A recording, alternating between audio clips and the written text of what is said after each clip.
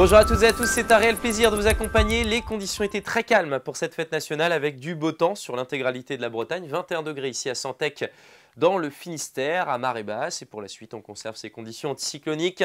1025 hectopascales sur l'Irlande. On a cette goutte froide qui devrait nous propulser de l'air caniculaire à partir de ce week-end. En attendant, profitons de ce soleil qui sera présent pour commencer ce vendredi. Quelques bancs de cirrus pour agrémenter le ciel. Un petit vent de secteur nord-est, 40-50 km par heure dans l'après-midi. En tout cas, le beau temps reste d'actualité et ce vent va permettre de brasser l'air. Quand on voit la masse d'air, on est pour l'instant pour l'instant du moins, hein, du bon côté, avec des températures plus tempérées. la nuit va être un peu plus fraîche. Hein. regardez, seulement 11 degrés pour commencer la journée à Gourin, 14 euh, degrés à Redon, même chose à Bain-de-Bretagne. C'est plus doux en direction du littoral, 16 à 17 degrés. Et dans l'après-midi, des températures toujours largement supérieures au normal de saison.